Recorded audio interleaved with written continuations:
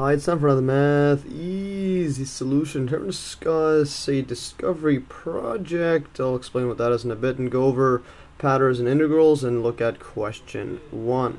Basically, uh, this discovery project is a section in my calculus book called, well, Discovery Project, which explores specific topics in greater and, well, more interesting detail. In this project, a computer algebra system, or CAS, is uh, well, it's going to be used to investigate indefinite integrals of families of functions, and by observing the patterns that occur in the integrals of several members of the family, we will be able to first guess, then prove a general formula for the integral of any member of the family.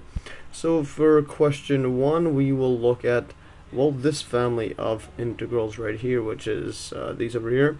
So question 1a states use a computer algebra system to evaluate the following integrals.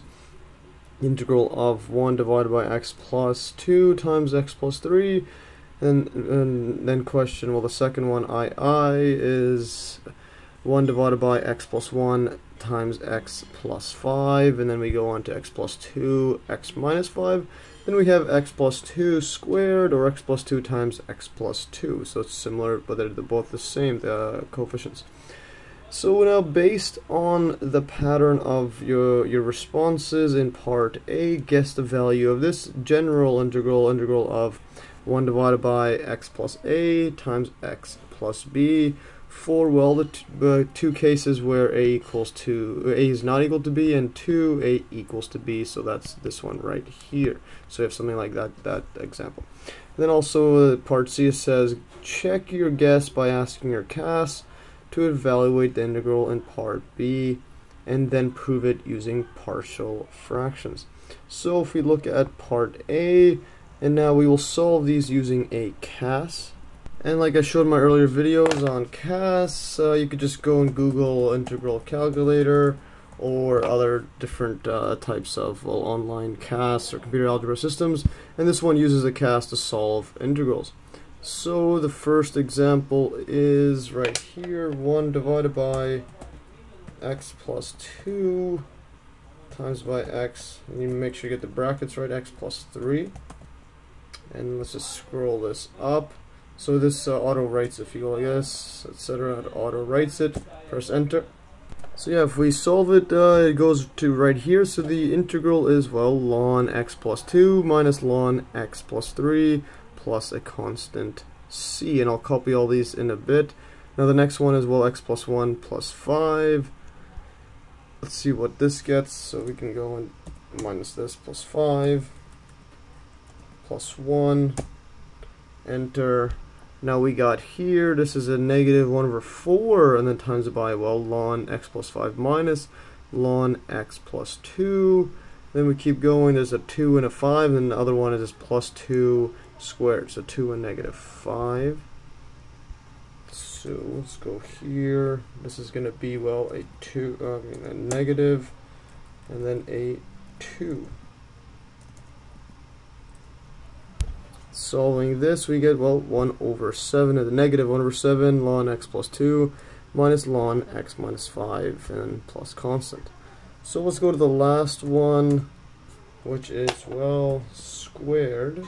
I'll, uh, I'll remove this bracket right there. So x plus 2 squared, press enter. Now we got this, negative 1 divided by x plus 2 plus c. So there's no natural log in this uh, particular one. Alright now, so I've copied and pasted those answers we got here. So this is the first one, this is the second one right here with the answer, the third one, the and then the last one right here, which is the only different case than ours. So yeah, now let's uh, look at part B, which is based on the pattern of responses in part A. Guess the value of the integral for these two cases. A, equal, A is not equal to B and A equals to B of the integral general form 1 divided by x plus b times x um, times x plus a. So let's write this down. b for, let's go with the first case, a is not equal to b. Uh, we get, well, the integral of 1 divided by um, x plus a over x plus b dx. Now we gotta see what this will equal to. Yeah, based solely on finding patterns from our uh, calculation. So this one here, this is the second case um, because there's a squared right there, so there a equals to b. So let's just look at the first three examples. So if we look at, uh, let's compare these first two right here initially. You have this, well, 1 divided by x plus 2 times x plus 3. Now this one there's no coefficient in front, but this one here is a plus 1 plus 5. There's a 1, a negative 1 over 4. And But they still have the same uh, negative ln. So there's always a negative everywhere, always a negative. Even the third one, there is a negative ln. Now the only difference between uh, these two in terms of, well, just the, the look of it, you could see that this x plus 2, it goes in, they put it in front, and this x plus 3 went over here. Remove this. So, But versus this one here, we have this x plus 1, it crisscrosses. I'll erase this. And then this x plus 5 crisscrosses. So to make these equal in terms of uh, crisscrossing is even here yeah this x minus 5 and here we well crisscross again this one here x plus 2 goes to here so to make it all the same as this crisscross because there's two of them versus one let's do the same thing here and we can do that by taking this negative out so this equals to well negative times it by ln x plus 3 now minus ln x plus 2. So just to make it more consistent so we can find a, a pattern more easily. So now let's look at, now it has a negative uh, out there. Could, uh, to make it look the same as this, let's put it as negative 1 over 1. So we're not changing anything, we're just writing it like this. So now it's negative 1 over 1, it's negative 1 over 4, etc. So this is basically what Calculus Book is just trying to trick us and with this pattern change now to make it slightly different look than this, but they're all similar uh, look. So now we can see a pattern derived. Let's see how do we get this um, this negative 1 over 1. First let's look at this negative 1 over 4 first. To get 1 over 4 from what we have, this 1 and, and 5, this would equal to, well, negative, actually we don't even need to put the negative. We'll just put, let's go with 1 divided by negative 1 actually not negative 1, 1 minus uh, this right here, 5. Yeah, 1 minus 5, or, or uh, even better yet, just put a negative in front, and now we can go with this 5 minus 1. So that's this, uh, so this, this one here on the right we'll consider as like a B, and this one has the A there, so we have uh, like this, which equals to, well, 1 over b minus a. So we're assuming that this is the pattern, which, and as you can see, it actually quite is. So if we go the same thing here, this negative 1 over 7, we can make it from this negative 5 and 2. So we go this, this is our, our uh, right side, so our b side, this is our a side, so we got 2, yeah, 2 minus, and then now there's a negative 5 it becomes positive. Then we're going to have 1 over well 7 negative 1 over 7 and that's where we get this there.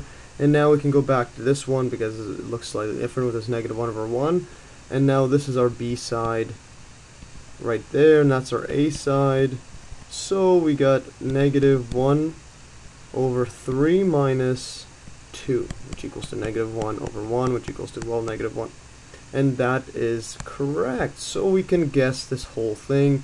So we guess it by the pattern, well, um, where was that? Negative 1 over b minus uh, a. So negative is equals to 1 over b minus a, and now we could put the brackets in ln of x plus x plus b, and because that's the right side of there, that's our b side, minus now ln x plus a and plus c. So that's our guess for, well, the formula, for the general formula for this one.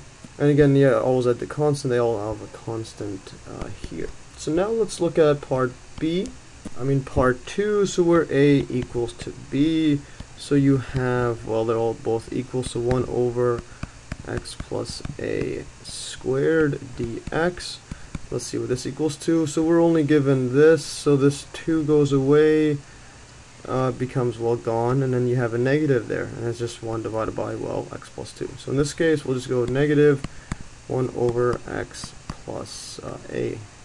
So this is only using the patterns we've derived from there and uh, in fact if you know uh, your basic integral formulas of this this is actually the right answer for this one so Yes, so now if we go back up and says check your guess by asking your CAS to evaluate the integral in part B, then prove it using partial fractions. So if we pull up the browser again, so now let's look at the first part, put the bracket x plus a times, or just put this like this, x plus b.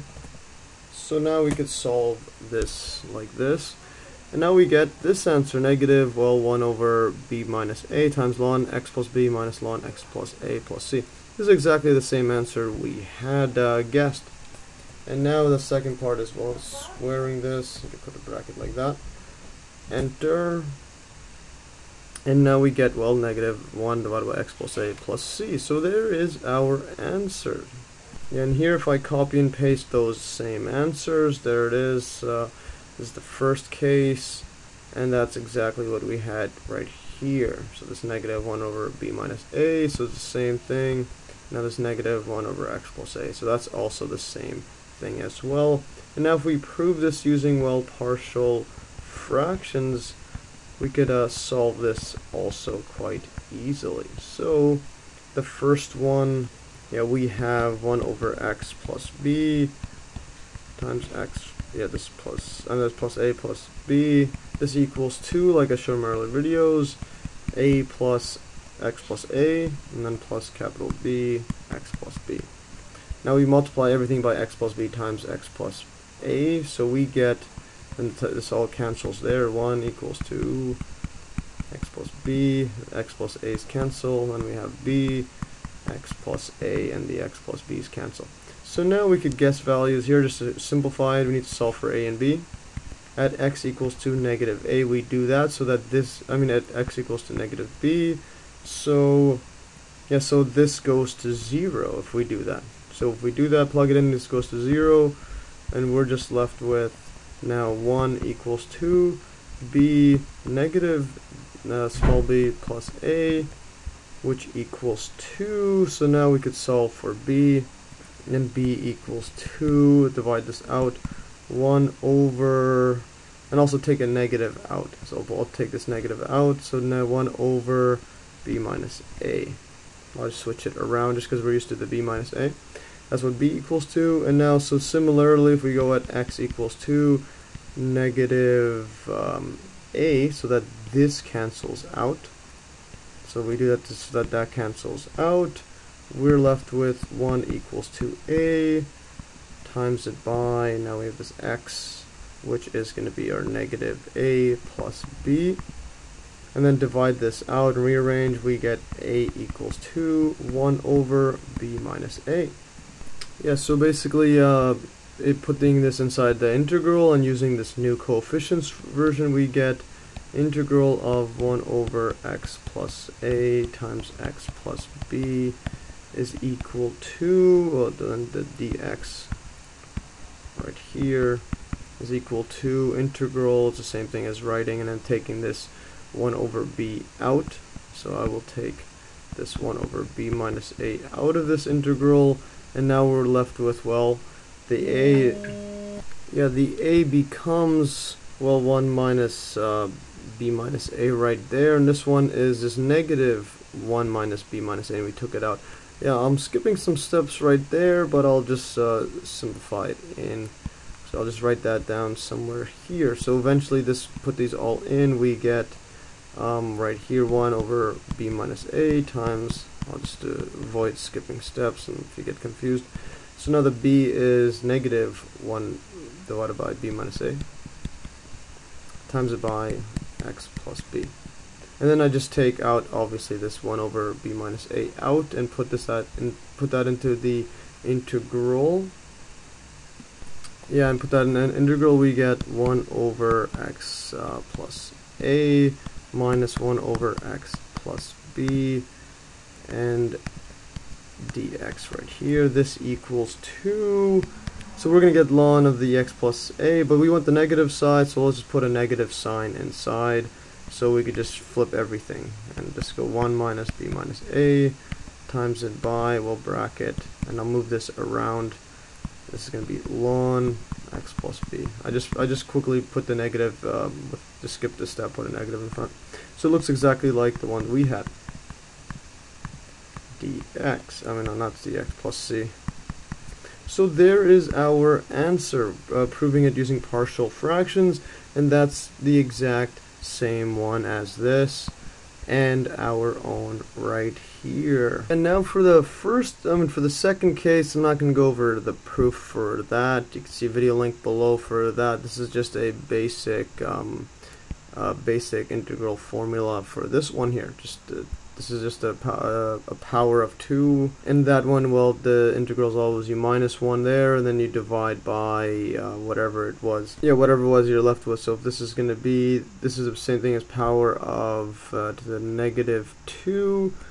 This is x plus a negative 2. So this would go, well, x plus a negative 1, and then divided by negative 1 here, and that's this integral right there. So I'm not going to go over that right now. But anyways, that's all for today. If you learned from this pretty interesting video on you, how you could prove general forms of uh, general integral equations without, uh, yeah, with basically using computers to uh, find patterns in different integrals. Anyways, all for today. Like always, you can download these exact notes in the link below. And thanks for watching. And stay tuned for another Math Easy solution.